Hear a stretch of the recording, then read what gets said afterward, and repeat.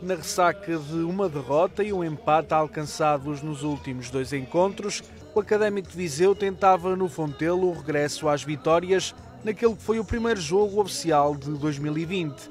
O opositor era o Nacional da Madeira, que após a derrota do Farense nesta jornada frente ao Benfica B, espreitava a possibilidade de subir ao primeiro lugar da tabela. Apesar desse estímulo, as melhores oportunidades do primeiro tempo pertenceram na sua totalidade aos homens de Viseu. A primeira aconteceu aos 5 minutos, com Latir Fol a falhar de cabeça ao gol inaugural, depois de um cruzamento de Luizinho pela direita.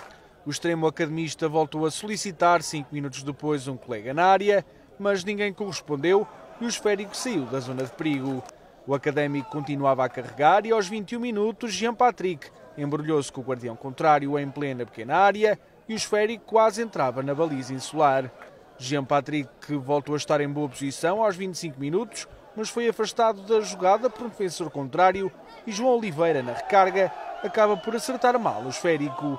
A melhor e última oportunidade dos primeiros 45 minutos deu-se à passagem na maior de jogo. Luizinho cobrou um livre lateral na faixa direita, João Oliveira colocou selo de gol no esférico mas este não chegou ao destino desejado por mérito do guardião Daniel Guimarães.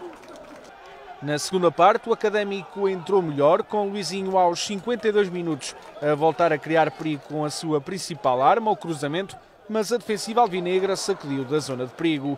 O Nacional só deu um ar da sua graça aos 55 minutos, através desta jogada individual de Camacho, mas o extremo madeirense esteve mal no último passe.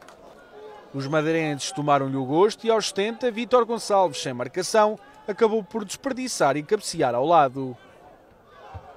Três minutos depois foi a vez de Witty criar perigo, com um livre lateral batido para junto da baliza, mas Ricardo Janota mostrou-se atento. Este lance mereceu resposta imediata por parte do académico, mas o remate de Latir Foles esbarrou num defensor contrário. Aos 78 minutos, Gorré teve nos pés a melhor ocasião do Nacional da Madeira em todo o encontro, mas a bola foi ao poste e percorreu a linha de gol sem entrar. Já nos últimos 10 minutos, o Nacional voltou a dispor de uma excelente oportunidade para dar outro rumo ao encontro, mas tanto Rocher como Gorré não conseguiram corresponder ao cruzamento de Camacho.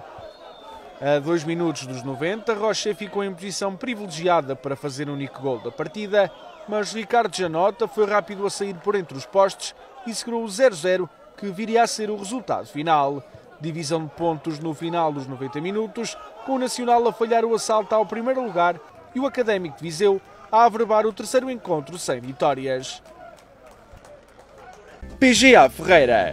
Visite-nos em Fornos de Algodres, Penalva do Castelo, Mangualde e Viseu.